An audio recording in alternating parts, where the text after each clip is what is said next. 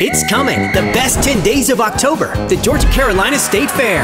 Opening day admission is just $5. It's big fun October 14th to the 23rd. The Georgia Carolina State Fair, Downtown Exchange Club Fairgrounds.